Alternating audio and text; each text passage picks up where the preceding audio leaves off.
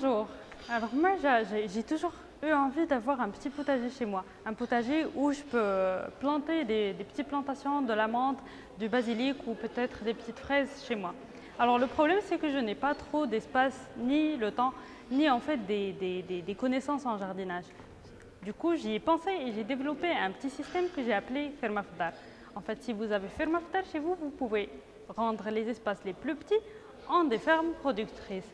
Ce qui est, euh, ce qui est bien dans, ce système, c'est que vous pouvez avoir euh, des productions 100% végétales, avoir un système qui est 100% automatisé et en plus, un système qui ne génère aucun, aucune pollution pour l'énergie.